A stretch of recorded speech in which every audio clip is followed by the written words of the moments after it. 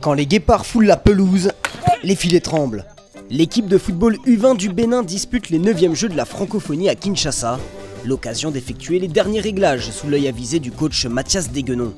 Vous savez, euh, les 20 ans, c'est déjà l'antichambre de, de l'équipe senior.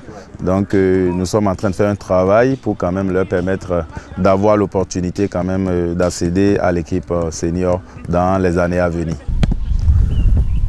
Ok, super Une future porte d'entrée chez les grands, mais avant tout une expérience humaine et culturelle pour ces jeunes béninois qui vivent leur premier jeu de la francophonie.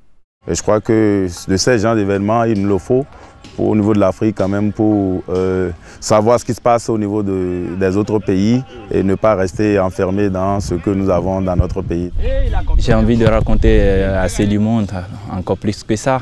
Sortir de, de, chez soi et raconter d'autres pays, d'autres personnes, de, d'autres pays, ça, ça fait plaisir. Et ça fait plaisir d'être là. Le Niger, j'ai des, des, amis là. C'est parce que le Niger Bénin, c'est à peu près. Donc au Niger, j'ai quelques amis là. C'est le but déjà de, de se faire des amis, rencontrer des potes avec d'autres pays. Voilà. Tous les matchs, tous les matchs sont à gagner.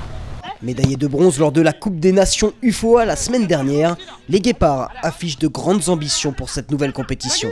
J'espère qu'avec mon équipe, on donnera tout pour, pour être qualifié en finale. Oui, c'est bien. L'objectif déjà, c'est d'aller remporter le trophée. Il n'y a, a, rien à dire. Chaque jour que je me lève, et je me dis toujours, voilà, l'objectif c'est je dois jouer au haut niveau. Donc il faut que je me batte chaque jour que Dieu fait. Briller pour réaliser leurs rêves, échanger et partager pour tisser des liens, l'épopée des guépards ne fait que commencer.